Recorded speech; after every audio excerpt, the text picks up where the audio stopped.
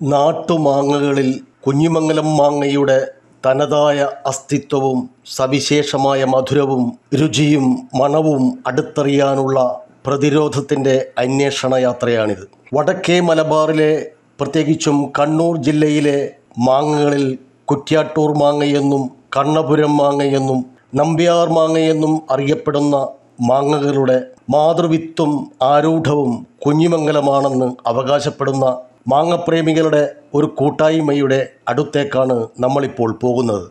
കുഞ്ഞാങ്കലം മാങ്ങയെന്ന് അറിയപ്പെടുന്ന ഈ കൂട്ടായ്മയെക്കുറിച്ച് കേട്ടപ്പോഴാണ് മനസ്സിലായത്. കുഞ്ഞാങ്കലം മാങ്ങയ്ക്ക് വേണ്ടി വാദിക്കാനും പ്രവർത്തിക്കാനുമായി ഇവരുടെ കൂട്ടത്തിൽ മൂത്തു പാകം വന്ന ഏറെ കുഞ്ഞിമംഗലം ദേശീയ മാങ്ങാ പ്രാന്തന്മാർ മാത്രമല്ല ഉള്ളതെന്ന്.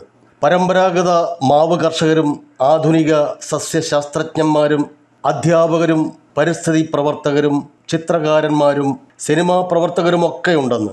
എന്തായാലും ഇനി നമുക്ക് കുഞ്ഞാങ്കലം മാങ്ങ കൂട്ടായ്മയിൽ ആദ്യം കണ്ടുമുട്ടാനിടയായവരുടെ മാങ്ങ ഓർമ്മകൾ പങ്കിടാം. നമ്മ എല്ലാവരും ഒരു കൂട്ടുകുടുംബമായി ജീവിക്കുന്നപ്പോൾ നമ്മ എല്ലാവരും കളത്തിലും ഇറത്തന്ന് കിടക്കുക.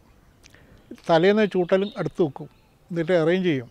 രാവിലെ പോയിട്ട് പറക്കണം. രാവിലെ പോയിട്ട് പറക്കിയിട്ടെങ്കിൽ വേറെ ആരും കൊണ്ട് പറക്കും. അത് ഉരുണി വാങ്ങുവാൻ തുടങ്ങും.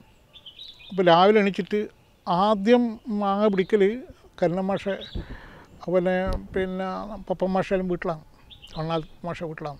നല്ല ടേസ്റ്റുള്ള ഉരുണ്ട മാങ്ങയാണ്. പെരുത്താലും ടേസ്റ്റാണ് പച്ചക്ക് തിന്നാൻ നല്ല സ്വാദാണ്. അപ്പോൾ അതാണ് ആദ്യം പറക്കാൻ പോലെ. പിന്നെ അത് കഴിയുമ്പോൾ അത് കുറച്ച് കുറച്ച് അടുത്തുള്ള വേറൊരു മാവ് അവൻ ഇളമാവായി. പിന്നെ എന്റെ നല്ല വളപ്പിൽ വലിയൊരു മാവുണ്ട് അത് പുളിയൻ മാവാണ്. നിറച്ചെപ്പം പിടിക്കും. ഒരു കാലത്തും മാങ്ങയില്ലാത്തൊരു കാലം ഉണ്ടായിട്ടില്ല. അത് നമ്മൾ കറിക്കാണ് ഉപയോഗം എങ്ങനെ പറഞ്ഞാൽ അത് മുറിച്ചിട്ടിട്ട് പിന്നെ അതിൽ പിന്നെ വാട്ടുപറങ്കിലിട്ട് ലേശം ഉപ്പ് ഇട്ടിട്ട് പെരക്കിയിട്ട് അതിന്റെ അപ്പം ചോറ് തിന്നാൽ മതിയാവില്ല ചോറ്. വേറെ ഒരു കറിയും വേണ്ട.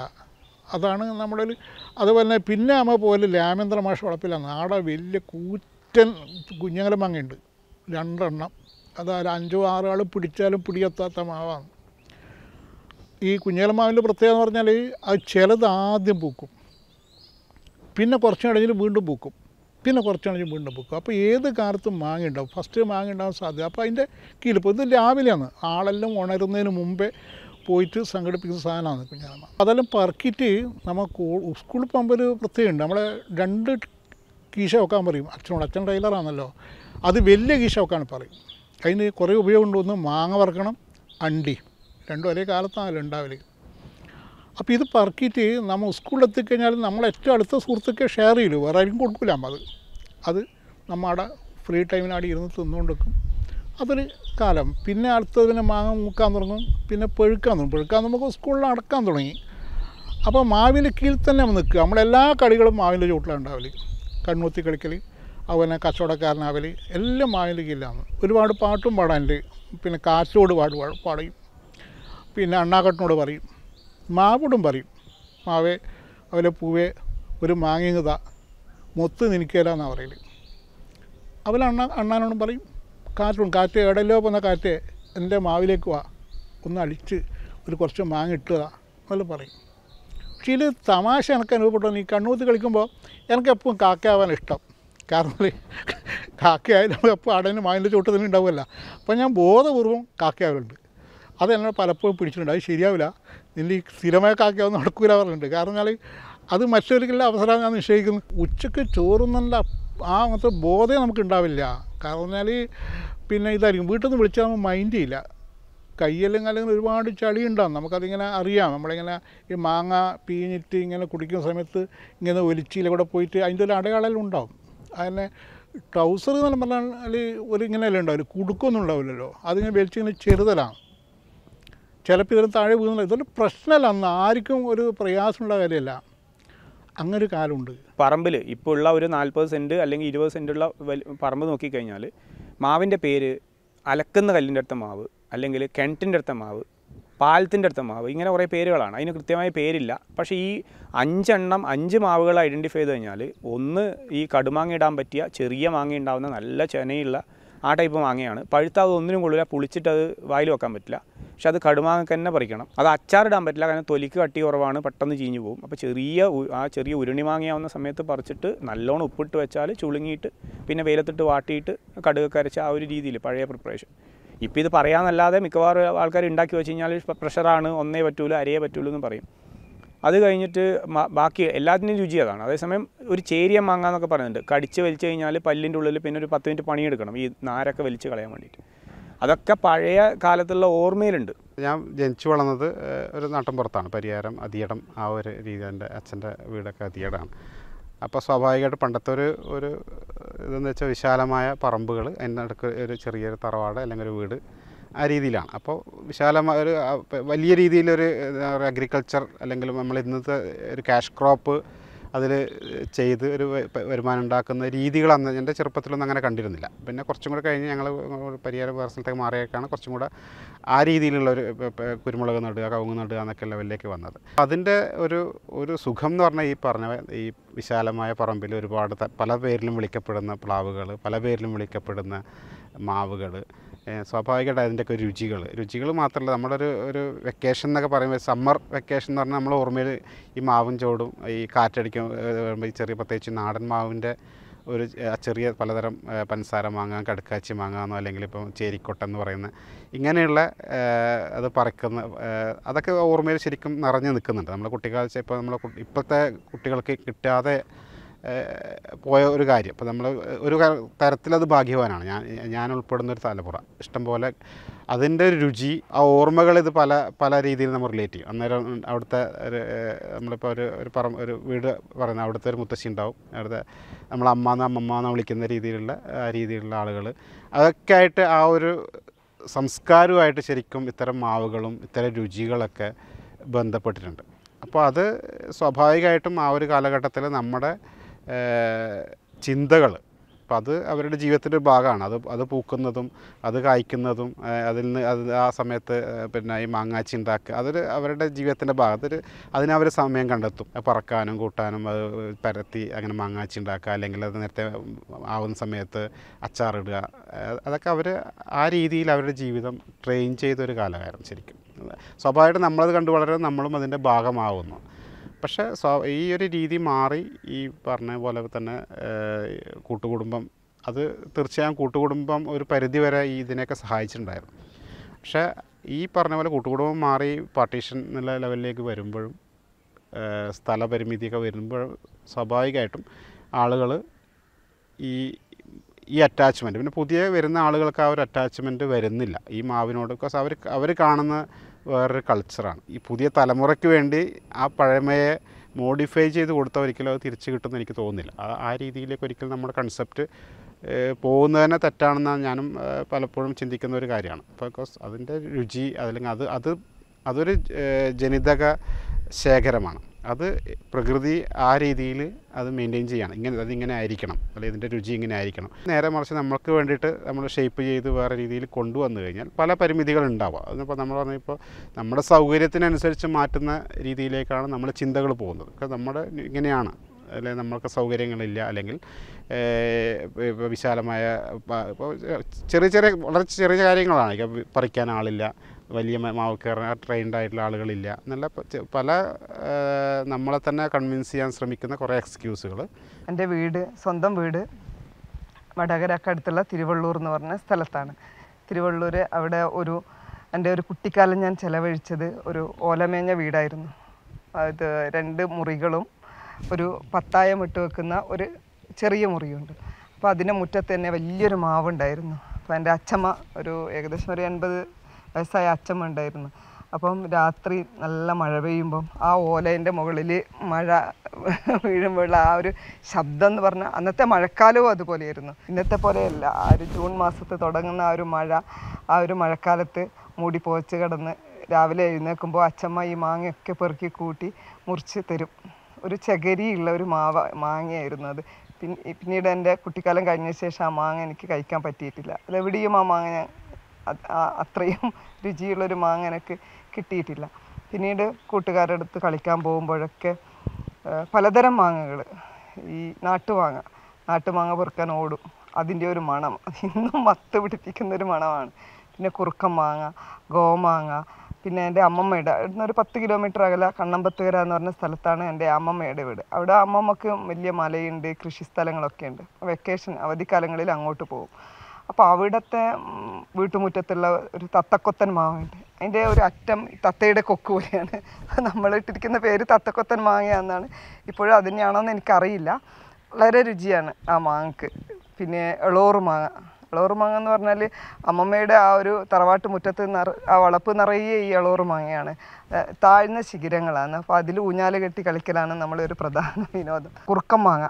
നല്ല കറുത്ത തൊലിയായിരിക്കും അതിന്. കറുപ്പ് തൊലിയുള്ള ഒരു മാങ്ങ. അതിന് ചകിരി ഉണ്ടാവില്ല അപ്പോൾ അത് തിന്നാൻ വളരെ ടേസ്റ്റാണ് കുറുക്കൻ മാങ്ങ അങ്ങനെ പലതരം പേരറിയാത്ത പലതരം മാങ്ങകൾ ഈ വെക്കേഷൻ സമയത്ത് രണ്ട് മാസം അമ്മമ്മയുടെ വീട്ടിൽ പോയാൽ വീട്ടിലിരിക്കില്ല ഈ വലിയ മലയുണ്ട് അവർക്ക്. അപ്പോൾ ഈ മലയിലാണ് നമ്മൾ അധികം ഉണ്ടാവുക. അപ്പോൾ അതിന്റെ മുകളിൽ കയറി കളിക്കുക നെല്ലിക്ക മാങ്ങ അങ്ങനെ അവിടെ തന്നെ വലിയ പാറയാണ് വലിയ ഒരു ഏക്കർ കണക്കിന് പാറയുള്ള ഒരു സ്ഥലമായിരുന്നു അത്. അപ്പോൾ വെക്കേഷൻ കഴിഞ്ഞ് വരുമ്പോഴേക്കും അച്ചമ്മയുടെ ഈ മാങ്ങാക്കാലവും എന്റെ ചെറുപ്പകാലം തൊട്ടേ ഞാൻ മാവ് കണ്ട് വളർന്ന ഒരാളാണ് മാവ് കാണുന്ന എനിക്ക് അച്ഛന് കടയുണ്ട്. ഇപ്പോൾ കടയിൽ മാങ്ങ കൊടുക്കുന്നത് അച്ഛനും കടയുണ്ട് അവിടെയും മാങ്ങ കൊടുക്കുന്നത് മാവ് തൈകൾ ഉണ്ടാക്കുന്നത്. ഇതൊക്കെ ചെറുപ്പത്തിലെ കണ്ട് വളർന്ന ഒരാളാണ്. അപ്പോൾ ചെറുപ്പത്തിലെ മാവ് മാങ്ങ എന്നൊരു സാധനം മനസ്സിലിങ്ങനെ രക്തത്തിൽ അലിഞ്ഞ പോലെയുണ്ട്. അപ്പോൾ അച്ഛൻ പിന്നീട് പോയി. അപ്പോൾ ഈ ഒരു സംഭവം അതായത് വീട്ടിലിപ്പോൾ ഒരു അഞ്ച് അഞ്ചെട്ട് വില്ല മാവുണ്ട്. ഈ വില്ല മാവൊക്കെ അധികവും എന്റെ അച്ഛൻ നട്ടാണ് അമ്മയുടെ അച്ഛൻ. അപ്പം അച്ഛൻ നട്ടതും ഉണ്ട് അതിൽ അപ്പോൾ അങ്ങനെയാണ് മാവിന്റെ ശരിക്കൊരു മാവ് എന്നുള്ളൊരു ക്രേസ് ഇത് കയറിയത് എന്ന് വെച്ചാൽ കുറേ മാന്തോട്ടം വേണം അവിടെയൊക്കെ ഒരു ഒന്ന് ഇരിക്കേണ്ട സ്ഥലം വേണം. അങ്ങനെ ഒരു സങ്കല്പത്തിലാണ് തുടങ്ങിയത്. ഇന്ന് ഒരു ഒന്ന് ഇരിക്കേണ്ട സ്ഥലം നമുക്കൊരു ഒരു ഒഴിവ് സമയം ചിലവഴിക്കാൻ പറ്റുന്ന ഒരു സ്ഥലം അങ്ങനത്തെ ഒരു ഒരു ഫീലിങ്സാണ് ഇതാണ് തുടങ്ങിയത്. എന്റെ പറമ്പിൽ തന്നെ ഒരു പത്ത് നാൽപ്പത്തൊമ്പതോളം മാവ് ഇപ്പം നിലവിലുണ്ട്. നാൽപ്പത്തൊമ്പത്. എന്റെ പ്രോസസ്സ് എന്ന് വെച്ചാൽ സാധാരണ കണ്ടുവരുന്ന ഒരു സിസ്റ്റത്തിൽ മാറിയിട്ട് അത്ര അകലത്ത് വെക്കാണ്ട് കുറച്ച് അകലം കുറച്ചിട്ട് ഒന്ന് അത് ഹൈറ്റ് ഒന്നും അധികം ആക്കാണ്ട് ഒന്ന് ഒരു മാവ് കൂടുതലായി വെക്കുക എന്നുള്ളൊരു സങ്കല്പത്തിലാണ് ഞാൻ ചെയ്യുന്നത്. അപ്പോൾ അങ്ങനെ ആകുമ്പോൾ വെച്ചാൽ നമുക്ക് മാങ്ങ പറിച്ചെടുക്കാനും സൗകര്യപ്രദമാണ്. അപ്പോൾ കൂടുതൽ മാവ് ഉണ്ടാവും ഒന്നാമത് ചെറിയ ചെറിയ മാവുകളായിരിക്കും കൂടുതലുണ്ടാവും. പിന്നെ വെറൈറ്റി മാവുകളും നമുക്ക് കുറേ വെക്കേണ്ട സ്പേസും കാര്യങ്ങളൊക്കെ ഉണ്ടാവും. വീട്ടിലുണ്ടായത് പിന്നെ കുഞ്ഞുങ്ങളെ മാവുണ്ട്. അത് ചെറുതാണ്. വലിയ കുഞ്ഞുങ്ങളെ മാവെല്ലാം പാട്ടം കൊടുക്കും. ചെറിയ കുഞ്ഞുങ്ങളെ മാവ് അത് നമുക്കുള്ളതാണ്. നമ്മളിത് പറിച്ചിട്ട് വളരെ മൂന്നും നാല് പ്രാവശ്യം കയറണം. എന്നാലേ നമുക്ക് മൂത്ത് കിട്ടും. അത് അതിന്റെ കുണ്ടി ചോന്ന് നമ്മളല്ലേ കൊക്ക് ചോന്നേ അത് മാത്രമേ പറിക്കൂലൂ പറിച്ചിട്ട് അവിടെ ചാക്കലം പിരിച്ച് അതിന്റെ വല്ല പുല്ലെല്ലാം ഇട്ട് അതിങ്ങനെ പൊഴിപ്പിക്കും. ഇത് അച്ചാച്ചൻ ഒരാൾക്കും തരും വിളിച്ചിട്ട്. അന്നേരം അതിന്റെ ഇതറിയൽ അതിങ്ങനെ വളരെ സ്നേഹത്തോടെ ഓരോ മാങ്ങ വരുമ്പം വളരെ സ്നേഹത്തോടെ മേണിക്കുകയും അത് നമ്മൾ അതിന്റെ തോലും കളഞ്ഞ് വളരെ ഭംഗിയിൽ ചേന്തി ഇട്ട് അത് തിന്നും. ചിലപ്പോൾ നമ്മളത് കറിക്കും കൂട്ടും. ഇങ്ങനെ നേരത്തെ പോലെ തന്നെ. പക്ഷേ പുളിയും മാങ്ങയാണ് എനിക്ക് ഏറ്റവും ഇഷ്ടം. ഈ കറി എല്ലാലും ഈ ഇതെല്ലാം പിന്നെ ഈ ഇത് ഉപ്പല്ലും ഇതെല്ലാം പറകിലൊട്ട് ചെയ്യുമ്പോൾ പുളിയം മാങ്ങ ഏറ്റവും ഇഷ്ടം. പിന്നെ ഉണ്ടായ പ്രധാനപ്പെട്ട മാവ് ഗോമാവ് തീരെ ഉണ്ടായിട്ടില്ല. ഇപ്പോൾ വളരെ അടുത്ത കാലത്ത് വന്നതാണ്. അതിൽ സമയമില്ല. ഞാൻ ചോദിച്ചു ഈ ഗോമാവ് എങ്ങനെ ഉണ്ടായിരുന്നു? ഒരാൾ ചോദിച്ചു. അപ്പോൾ പറഞ്ഞു അത് പശുവിനെ കെട്ടിയിട്ടാണ്. പശുവിന് ഗോന്ന പേരുണ്ടല്ലോ. അങ്ങനെ. അപ്പോൾ അപ്പോൾ അന്ന് ഉണ്ടായില്ല ഗോമാവ്. വളരെ അപൂർവമാണ്. ഇപ്പോൾ ഇപ്പോൾ ആണെന്ന് തോന്നുന്നത് ചിലപ്പോൾ എങ്ങനെ എഴുതുന്നു വന്ന് എനിക്കറിയില്ല. പക്ഷെ അന്നുണ്ടായ വേറെ വളരെ പ്രധാനപ്പെട്ട മാവ് ഇളമാവാണ്. അത് ഒരു വീടിന്റെ കയ്യാലൊക്കെ തേച്ച് ഇളമാവായിരിക്കും. ശരിക്കും പറഞ്ഞാൽ അന്ന് നമ്മൾ പിന്നെ വിശപ്പ് തീർത്തത് ഇളമാവിനെ കൊണ്ടാകും കാരണം ഒരു മൂന്നാലിനുള്ള ഒറ്റ കടിച്ച് മാറാൻ പറ്റും. അപ്പോൾ നമുക്ക് വിശപ്പ് തീരില്ല. മാത്രമല്ല അന്ന് ഇതും ചെയ്യാണ്ട് ഈ മാങ്ങ പറക്കിയിട്ട് ഒരു ഒരാഴ്ച കൊണ്ട് ഈ ഇളമാവ് തീരും. വളരെ പെട്ടെന്ന് പഴുക്കുകയും വളരെ പെട്ടെന്ന് തീരുകയും ചെയ്യും. ഒരാഴ്ച അല്ലെങ്കിൽ രണ്ടാഴ്ച ഒരുപാട് ഉണ്ടാവുകയും ചെയ്യും. അപ്പോൾ എല്ലാവരും ചെയ്യലെന്ന് പറഞ്ഞു കഴിഞ്ഞാൽ ഈ ഇളമാവ് പറക്കിയിട്ട് മാങ്ങയും പറക്കിയിട്ട് തെരുവ് കൊണ്ടുപോകും. തെരുവ് കൊണ്ടുപോയിട്ട് ആടെങ്കിലും ഒരു അഞ്ച് പത്തെണ്ണം കൂടി ഒരു ഷെയർ അങ്ങനെയാണല്ലോ വെക്കൽ. അത് ആരെങ്കിലും വന്ന് മേടിക്കും. വരുമ്പോൾ എന്നിട്ട് തിരിച്ചു വരുമ്പോൾ കുറച്ച് കീരിക്കോട്ടയിൽ കുറച്ച് മത്തി മേടിച്ചിട്ട് അല്ലെങ്കിൽ വേറെ മേടിച്ചിട്ട് വരും. അതൊരു കാലായിരുന്നു. പിന്നെ മാങ്ങ പുഴുങ്ങിയിട്ട് കഴിക്കും. അത് വേറെ ടേസ്റ്റാണ്. ഇളമാങ്ങ മാത്രമേ പുഴുങ്ങി കഴിക്കല്ലോ അത് വേറെ ടേസ്റ്റാണ്. അതുപോലെ പച്ചമാങ്ങ ഇളമ്പക്കും കറി വെക്കലുണ്ട് ഇങ്ങനെ അത് ഇളമ്പൊക്കെ പൂങ്ങുന്ന സമയത്ത് കുറച്ച് പച്ചമാങ്ങ ഇടും. എന്നിട്ട് അതിന്റെ വെള്ളെടുത്തിട്ട് അതിൽ പച്ചമാങ്ങനെ ഇത് അതിൽ ഞരണ്ടിയിട്ട് അതിന്റെ ഒരു കോരിക്കുടി പോലെയാക്കും അത്. എന്നിട്ട് അത് കുടിക്കും. അത് ഭയങ്കര ടേസ്റ്റാണ്. അസാധ്യ ടേസ്റ്റാണ്. വെറുതെ ഇരിക്കും. ആ ചോറും വളരെ ടേസ്റ്റാണ്. അങ്ങനെ പിന്നെ നമ്മൾ ചെയ്യൽ ഈ മാങ്ങ ഉണക്കലുണ്ട് അച്ചാറാക്കലുണ്ട്. ഉപ്പിലിടൽ വളരെ പ്രധാനമായിട്ടാണ് ആദ്യമായാലും ഉപ്പിലിടാനാണ് തുടങ്ങിയ അത് എല്ലാ കാന്താരി ഇതിലിട്ട് ഉപ്പിലിടുന്ന നല്ല മാങ്കാച്ചി ആക്കലുണ്ട് മാങ്കാച്ചി നമ്മുടെ വീട്ടിലെല്ലാം പണ്ടുണ്ടാക്കി പറഞ്ഞാൽ ഇങ്ങനെ ഈ അത് ഈ ഇളമാങ്ങിയൊന്നും ഉപയോഗിക്കില്ല. ഇടയ്ക്ക് ഈ ഇങ്ങനെ ചേരിയം മാങ്ങയും അതുപോലെ ഇങ്ങനത്തെ ഈ ഉമ്പിക്കുടിയ മാങ്ങയും അതുപോലെ വളരെ നീരുള്ള ഒരുപാട് മാങ്ങ ഉപയോഗിക്കുക. എന്നിട്ട് അത് ഉരലിട്ട് ഇടിക്കും. ഇടിച്ചിട്ട് അതിന്റെ നീരെടുക്കും. എന്നിട്ട് നമ്മളെ പായിൽ തേക്കും. അപ്പോൾ ഒന്നാം ദിവസം തേച്ച് രണ്ടാം ദിവസം ഇതേപോലെ ഈ പ്രോസസ്സ് തുടർന്നുകൊണ്ടേ ഇരിക്കണം ഇങ്ങനെ തേച്ച് തേച്ചിട്ട് മൂന്നും നാലും അഞ്ചും കട്ടിയാകുന്ന സമയത്ത് അത് ശരിക്കും ഉണങ്ങി കിട്ടും. അല്ലാണ്ട് ഒന്നിച്ച് തേച്ച് കഴിഞ്ഞാൽ ഉണങ്ങില്ലല്ലോ അത്. എന്നിട്ട് അത് ചുരുട്ടി വെക്കും. അത് മഴക്കാലത്തേക്കുള്ളതാണ് നമുക്കുള്ള മഴക്കാലത്തേക്കുള്ളതാണ് മാങ്ങ മുഴുവൻ പറിക്കും. എല്ലാ മാങ്ങയും പറിച്ച് വാട്ടി ചെത്തിയിടും. ചെത്തിയിട്ടിട്ട് ഉണക്കും. മാങ്ങാ നല്ല കറുത്ത നിറമായിരിക്കും. മാങ്ങാത്തോൽ എന്നാ പറയുക അപ്പോൾ ഈ മഴക്കാലത്ത് ചെമ്മീൻ ഉണക്ക ചെമ്മീനും ഈ മാങ്ങാത്തോലിട്ട കറിയാണ് പ്രധാന ഭക്ഷണം. അപ്പോഴൊന്നും എനിക്കത് മാങ്ങാത്തോൽ എന്ന് പറയുന്ന സാധനം എനിക്ക് ഇഷ്ടമല്ലായിരുന്നു പിന്നീട് എപ്പോഴോ അതിന് ശേഷം എന്റെ ഒരു കുട്ടിക്കാലം കഴിഞ്ഞു. എന്റെ ഒരു വിവാഹം കഴിഞ്ഞ് ഞാൻ പയ്യന്നൂർ വന്ന ഇവിടെ പയ്യന്നൂർ വന്ന് കല്യാണം കഴിച്ചത്. അപ്പോൾ അച്ഛമ്മയൊക്കെ മരിച്ചപ്പോൾ ശരിക്കും അന്ന് അന്നുള്ള ആ ഒരു പ്രായമായവർ എത്രമാത്രം വിലപിടിച്ച ഒരു നിധിയായിരുന്നു എന്നും ഞാൻ മനസ്സിൽ സൂക്ഷിക്കും അവരെപ്പോലെ പോലെ ആ ഒരു തലമുറ നമുക്ക് പകർന്നു തന്ന കാര്യങ്ങൾ ഇന്നില്ല എനിക്ക് എന്റെ കുട്ടികൾക്ക് കൊടുക്കാൻ എന്റെ കയ്യിലൊന്നുമില്ല. പക്ഷെ അച്ഛമ്മ സ്നേഹത്തോടെ മുറിച്ചു തരുന്ന മാങ്ങ മോളെ കഴിക്കുക രാവിലെ നമ്മളെല്ലാവരെയും കൊണ്ടും പിന്നെ അച്ഛന്റെ ചേട്ടന്മാരൊക്കെ അടുത്തടുത്ത വീടുകളാണ് എല്ലാ കുട്ടികൾക്കും മാങ്ങ മുറിച്ചു കൊടുക്കൽ അച്ഛമ്മയുടെ ഡ്യൂട്ടിയാണ്. പിന്നെ എനിക്ക് ഒരു അഞ്ചാം ക്ലാസ് പഠിക്കുമ്പോൾ ആ വീട് വിറ്റു. തറവാട് വീട് വിറ്റു. അച്ഛൻ വേറെ സ്ഥലത്തേക്ക് മാറി. അപ്പോൾ പുതിയ വീട് എടുക്കുമ്പം ആ വീട് വാങ്ങിയ ആൾ ആ മാവ് മുറിച്ച് കളഞ്ഞു. പിന്നെ ഞാൻ സങ്കടത്തോടെ ആ സ്ഥലത്ത് പോയി നിന്ന് ആ മാവ് നിന്ന സ്ഥലം നോക്കി നിൽക്കാറുണ്ടായിരുന്നു ഒരു വലിയൊരു നമുക്ക് ആ ഒരു മാവിനോടുള്ള ഒരു അറ്റാച്ച്മെന്റ് അതായത് എന്റെ അച്ഛമ്മ അതിൽ നിന്ന് ആ മാങ്ങ പെറുക്കി മുറിച്ച് തരുന്ന അച്ഛമ്മേന്റെ ഒരു സ്നേഹം ആ ഒരു മാവും ഒരു അഭേദ്യമായ പ്രകൃതിയും നമ്മളും തമ്മിലുള്ള ഒരു അഭേദ്യമായ ഒരു ബന്ധം. അങ്ങനെയാണ്. അങ്ങനെ മാങ്ങ എന്ന് പറഞ്ഞാൽ നമ്മളെ ജീവിതത്തിന്റെ എല്ലാ മേഖലകളിലാണ് എന്റെ അച്ഛൻ നമ്മൾ പറയുണ്ടായി അച്ഛൻ ഇപ്പോൾ ഒരു ഒരു പത്ത് മുപ്പത് കൊല്ലമായി മരിച്ചു. മുപ്പത് കൊല്ലത്തിലധികമായി. അപ്പോൾ അച്ഛൻ ചൂണ്ടിക്കാണിക്കും കിഴക്ക് ഭാഗത്തൊരു മാവ് ഇതെന്റെ ആണേ ഇത് എനക്കുള്ളതാണെന്ന് പറയും ശരിയാ അച്ഛൻ മരിച്ചപ്പോൾ ആ മാവ് തന്നെയാണ് മുറിച്ചത് അച്ഛൻ ഇഷ്ടപ്പോലെ എന്നിട്ട് കുട്ടി ഒരുപാട് മാവും പ്ലാവിലും വെക്കുന്നത് വളരെ ജോറാണ്. പക്ഷേ അച്ചച്ചന്റെ ഇപ്പോൾ ഉണ്ടാകുന്ന വലിയ പറമ്പാണല്ലോ. പറമ്പിൽ പൊതുവെ തേ തെങ്ങൊന്നും ഉണ്ടാവില്ല. ഒന്നോ രണ്ടോ തെങ്ങുണ്ടാവും. പറമ്പിൽ എന്ന് പറയാൻ മാവും പ്ലാവും പിന്നെ പെറുകിയാവും അതാണ് ഉണ്ടാവില്ല പിന്നെ മറ്റു മരങ്ങൾ അത്യാവശ്യം ഉണ്ടാവും. ഒരു ഒരു ഒന്നര ഏക്കറോളം സ്ഥലമുണ്ട് നമ്മുടെ എന്റെ തറവാട്ട് പറമ്പ്. അമ്മ കൂട്ടുകുടുംബം താമസിക്കുന്നല്ലേ? അതിൽ തെങ്ങ് അഞ്ചോ ആറോ എണ്ണം ഉണ്ടായിട്ടുണ്ടാവില്ല. എനിക്കൊന്ന് തേങ്ങ നമ്മുടെ കറി വെക്കാനുള്ള തേങ്ങ പോലെ ഒന്നും കിട്ടില്ല കാരണം അതൊരു പ്രധാന സ്രോതസ്സല്ല. പക്ഷേ അതിനേക്കാൾ സ്രോതസ്സ് അതിലുണ്ടായിട്ടുള്ള കുഞ്ഞുങ്ങളെ മാവിളാണ്. അന്ന് തന്നെ രണ്ടായിരം മൂവായിരം റുപ്യ അന്ന് പാട്ടം കിട്ടുമായിരുന്നു. എന്റെ അച്ഛന്റെ ചേട്ടൻ നമ്മൾ മുത്തപ്പൻ എന്നാണ് പറയുക അച്ഛന്റെ ചേട്ടന്. മുത്തപ്പൻ ഏറ്റവും മുതിർന്ന ആളാണ്. അപ്പോൾ മുത്തപ്പന്റെ വീട് എന്ന് പറഞ്ഞത് ഒരു വയലിന്റെ കരക്കുള്ള കുനി എന്നാണ് നമ്മൾ പറയുക ആ കുനിയിലാണ് മുത്തപ്പന്റെ വീട്. അപ്പോൾ അവിടെ വീട്ടുവളപ്പിൽ ഒരു മൂന്നാൽ മാവ് ഉണ്ടായിരുന്നു. നീലാണ്ടൻ നീല കളറുള്ള ഒരു മാങ്ങയാണ്. നീലാണ്ടൻ മാങ്ങ പിന്നെ ഒരു ഉണ്ട ഉണ്ട അതൊരു മാങ്ങേന്റെ ഷേപ്പില്ല. അങ്ങനെയുള്ള മാങ്ങ. അങ്ങനെ പലതരം മാങ്ങകൾ ഉണ്ടായിരുന്നു. അപ്പോൾ മഴ പെയ്യുമ്പം വെള്ളം കയറും. മുത്തപ്പന്റെ വീടിന്റെ പകുതി വരെ വെള്ളം എത്തും അപ്പം ഈ മഴയത്ത് ആ സമയമാകുമ്പോഴാണ് മാവ് മാ പഴുക്കാറുള്ളത്. അപ്പോൾ ഈ മഴക്കാലത്ത് നമ്മൾ പോവും. അപ്പോൾ അവിടുന്ന് തോണി യാത്ര ഇതൊക്കെയാണ് പ്രധാന വിനോദങ്ങൾ. അപ്പോൾ മുത്ത മുത്തമ്മ മുത്ത അവരെ മൂത്തമ്മ എന്ന് വിളിക്കും. അവർ ആ മാങ്ങ നമുക്ക് മുറിച്ച് തരും. ഇന്ന് ആ കുഞ്ഞിയെല്ലാം അവർ അടുത്ത ജനറേഷൻ വരുമ്പോൾ അതെല്ലാം വിറ്റു. മാവെല്ലാം മുറിച്ചു. അവിടെ ഇന്നൊരു ക്വാർട്ടേഴ്സാണ് നാട്ടിലേക്ക് പോകുമ്പോൾ എനിക്ക് സങ്കടമാണ് എല്ലാം നഷ്ടപ്പെട്ടു മനുഷ്യൻ നഷ്ടപ്പെടുത്തി. എല്ലാം വയലുകളെല്ലാം ഉയർത്തി റോഡുകളാക്കി. അവിടെയൊക്കെ പുതിയ കെട്ടിടങ്ങൾ വന്നു. അപ്പോൾ അന്ന് സാധാരണ ഈ മാങ്ങോരിക്കാൻ വരുന്നവർ പിന്നെ വരികയും ആദ്യം പാട്ടം നിശ്ചയിക്കും.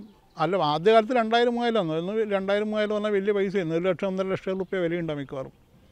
പിന്നെ അത് പത്തായിരം പതിനഞ്ചായിരമായി അപ്പോൾ അത് മാത്രമല്ല എന്നാൽ ഞാൻ പറഞ്ഞു രാമേന്ദ്ര മാഷ പറമ്പിലുണ്ടാകുന്ന വലിയ രണ്ട് മാവുണ്ട് പറഞ്ഞാൽ ഒന്ന് വളരെ പടർന്നു പോകുന്ന പ്ലാവാണ് മാവാണ്. മറ്റൊന്ന് ഇങ്ങനെ കുറച്ച് നല്ല പിടിച്ചാൽ പിടിക്കാത്തത് മൂന്നാലഞ്ചാൾ പിടിച്ചാൽ പിടിക്കാത്തത്. അവിടെ വാങ്ങുന്നത് നേരത്തെ അയ്യായിരം അന്ന് ആ സമയത്ത് കിട്ടേണ്ടത് മാഷ് പറയലുണ്ട്. അപ്പോൾ ഇത് പറിക്കാൻ വലിയ രണ്ടും മൂന്നും ഘട്ടമാണ്. മൂത്തത് മാത്രമേ പറിക്കൂ. മൂത്തത് മാത്രം പറിച്ച് പഴുപ്പിച്ചിട്ട് അതിങ്ങനെ ഇങ്ങനെ സാധാരണ നമ്മൾ ഇങ്ങനെ പുല്ലപ്പുല്ലിട്ട് പഴുപ്പിച്ചിട്ട് അന്ന് നമുക്ക് ഈ പിന്നെ നമ്മളെ റോട്ടുമ്പിൽ ഒന്ന് കാണാൻ പറ്റും. തിക്കും പാടുന്ന മറ്റൊക്കെ പെണ്ണുങ്ങൾ ഇങ്ങനെ മുപ്പ് പിടിക്കുന്ന കുട്ടിയെ നിറച്ചിങ്ങനെ മാങ്ങ കൂമ്പാരം പോലെ ആക്കിയിട്ട് ഇങ്ങനെ ടൗണിലേക്ക് പോകുന്ന കാണാം. പെരുമ്പിലെത്തി അത് വിൽക്കും. അവരുടെ നിന്നിട്ട് വിൽക്കും. റോഡ് സൈഡിൽ നിന്ന് വിൽക്കും. അല്ലെങ്കിൽ കുറേ കടയിൽ കൊടുക്കും. അതൊരു കാഴ്ചയായിരുന്നു. ഏത് സമയത്ത് നമുക്ക് കാണാം? ഒന്ന് മറ്റേ റോഡിൽ അല്ലെങ്കിൽ തീരദേശ റോഡിലൊക്കെ തന്നെ വണ്ണങ്ങൾ ഇങ്ങനെ കൂട്ടിയെടുത്ത് പോകുന്ന കാണാം. അപ്പോൾ അന്ന് അതായിരുന്നു എന്റെ അവസ്ഥ. അത് കുറേ നാളെ നമുക്ക് കാണാൻ വേണ്ടി പറ്റും. നല്ല മധുരമുള്ള മാങ്ങയാണ്. നല്ല ടേസ്റ്റ് കാരണം അത് നല്ല മൂത്ത മാത്രമല്ല പഴുക്ക് കുരയ്ക്കൂലൂ അതുകൊണ്ട് അങ്ങനെ സംഭവിക്കുന്നത്. പണ്ട് ഒരു മാവ് പോലും നമ്മൾ മുറിക്കൂല. കാരണം അത് വലിയൊരു സാമ്പത്തിക വരുമാനം. ഒരു വീട്ടിന്റെ ഒരു പ്രധാനമായിട്ട് ഘടകം അത്. ചിലപ്പോൾ ഒരു വീടിന്റെ ഒരു റിപ്പയറിങ് നടത്താൻ. അല്ലെങ്കിൽ ഒരു മോക്ക് രണ്ട് പവൻ മേടിച്ച് വെക്കാൻ. അതിനൊക്കെ പറ്റുന്നൊരു എമൗണ്ട് ആയിരുന്നു അത്. അതുകൊണ്ട് ആരും മുറിക്കൂല. അത്ര വലിയ മാവായാലും മുറിക്കൂല. പക്ഷേ ഇത് ആ പാട്ടത്തിന് ആൾ വരാതിരിക്കുമ്പോൾ അത് നമുക്ക് അനാവശ്യയിൽ മാറി. അതാണ് സംഭവിച്ചത്.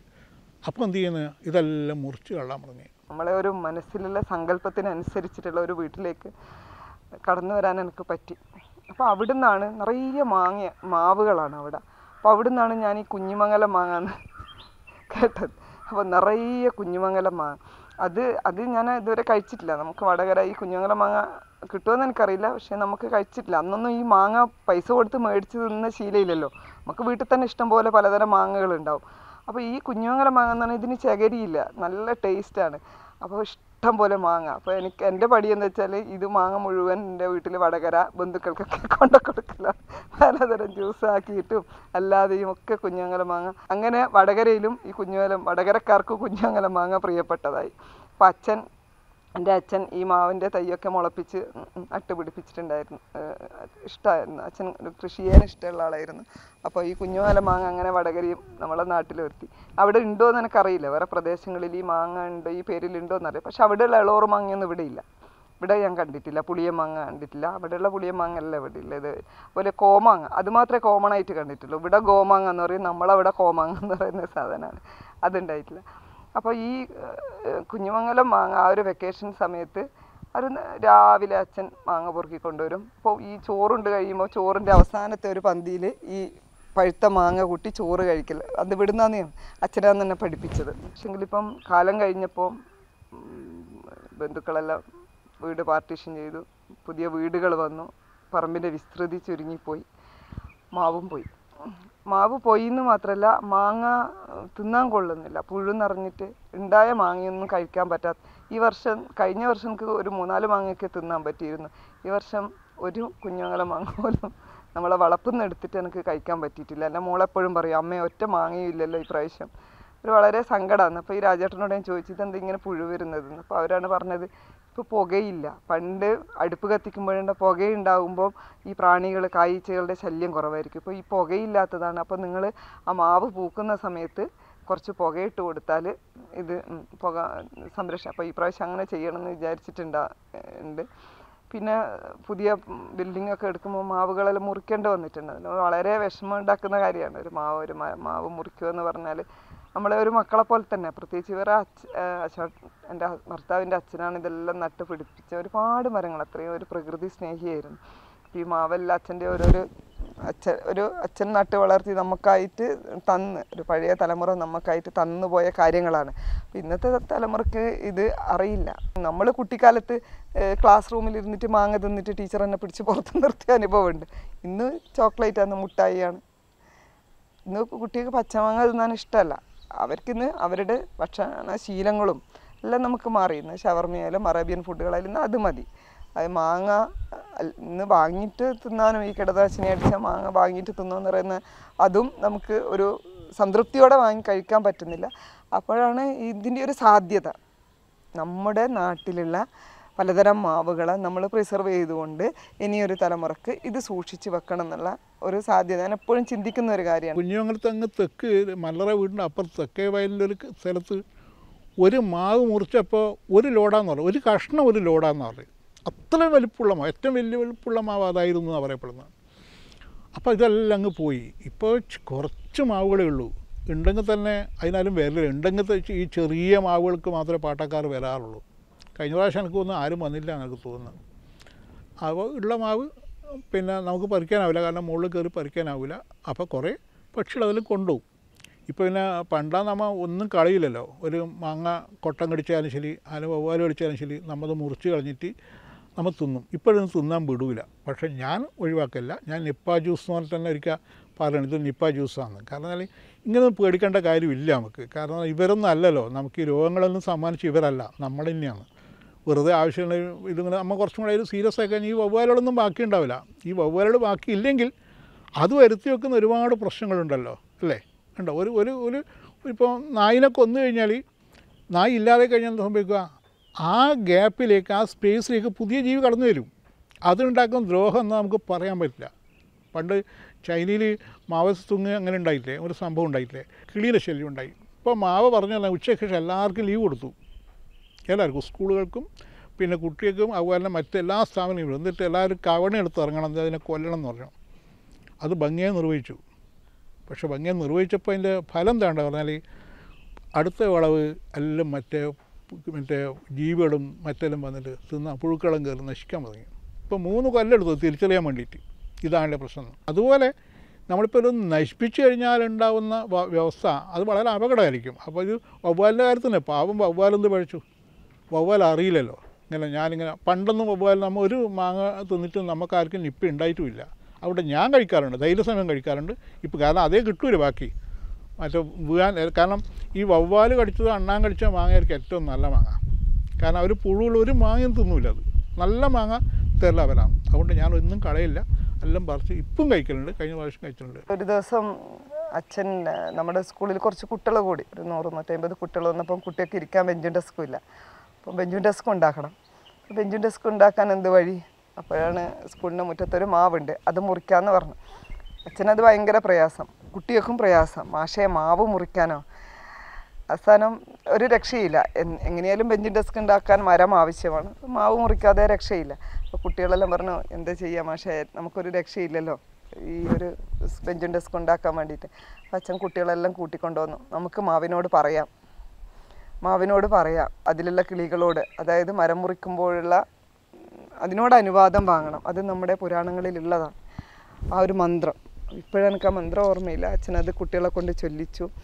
ആ മരത്തിലുള്ള എല്ലാ പ്രാണികളോടും ആ മരത്തിനെ ആശ്രയിച്ച് ആ മാവിനെ ആശ്രയിച്ച് നിൽക്കുന്ന എല്ലാ പ്രാണികളോടും അനുവാദം ചോദിച്ച് ആ മന്ത്രം ചൊല്ലിയപ്പം കുട്ടികളുടെയും അച്ഛന്റെയും കണ്ണ് നിറഞ്ഞത് ഇന്നും എന്റെ മനസ്സിലുണ്ട്. അങ്ങനെ അതിനോട് അനുവാദം ചോദിച്ചു അച്ഛൻ പറഞ്ഞു പണ്ടുള്ളവർ നമ്മൾ ആവശ്യത്തിന് ഒരു മരം മുറിച്ചെടുക്കുമ്പോൾ അത് ആധ്യാത്മികതയും നമ്മുടെ ഒരു പ്രകൃതിയും തമ്മിലുള്ള ഒരു റിലേഷൻഷിപ്പാണ് അവിടെ ഒരു മന്ത്രമാണ്. അതിനെ ആശ്രയിച്ചിരിക്കുന്ന ഒരുപാട് നമുക്ക് കാണാൻ പറ്റുന്നതും കാണാൻ പറ്റാത്തതുമായ ജീവികൾ ആ മരത്തിലുണ്ടാവും. അതിനോടൊക്കെ അനുവാദം ചോദിക്കുകയാണ് ഇത് മുറിക്കുകയാണ് ഇതിനെ നമുക്ക് മുറിക്കുന്നതിൽ വിഷമിക്കരുത്. അങ്ങനെ ആ കുട്ടികൾ ആ മരം ഒരാളെ കൊല്ലുന്നത് പോലെയാണ് കുട്ടിയൊക്കെ ഫീൽ ചെയ്യുന്നത്. അപ്പം അത് അത്രയും കുട്ടികളും അച്ഛനും ആ മന്ത്രം ചൊല്ലി ആ മരം മുറിക്കാൻ വന്ന ആളും അവിടെ നിന്ന് അവരും കൂടെ ചൊല്ലി ആ മരത്തിനെ മുറിച്ച് അങ്ങനെ കൊണ്ടുവരുന്നൊരു പ്രോസസ്സാണ് അപ്പം അവിടുന്ന് വലിയൊരു പാടാണ് ആ കുട്ടിയൊക്കെ ചെറിയ നാല് സ്കൂളാണ് ആ കുട്ടിയൊക്കെ അച്ഛൻ പറഞ്ഞു കൊടുത്തത്. ചില ഒരു മരം മുറിക്കുമ്പം ആ മരത്തിൽ ആശ്രയിച്ച് ജീവിക്കുന്ന ചരാചരങ്ങളോട് എല്ലാ ചരാചരങ്ങളോടും നമ്മൾ നന്ദി പറയണം.